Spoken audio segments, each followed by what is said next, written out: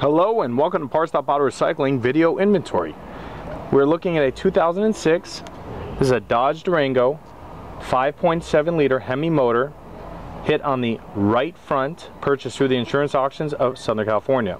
It's a four door SUV, it's got an automatic transmission, it's rear wheel drive, it's an SLT model and a production date 11 of 05. This car has 101,000 miles on the vehicle and we did start the motor as well as electrically test all the internal components as well. We'll show you everything. It also does have a front bumper, grille, left headlight, left fender, all four doors, and a complete rear clip. We'll take you on the inside, show you that everything is in working condition here, and we'll even start up the motor. There's the mileage right there. And go ahead and start this motor up right now. The motor is in nice running condition right there.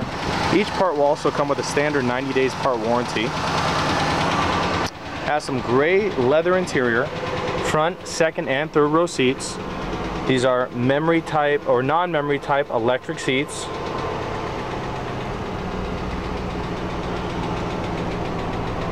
We'll take you around the vehicle.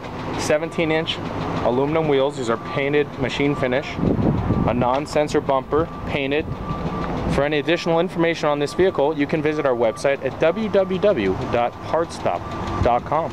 And this will conclude the video portion for this vehicle. Thank you.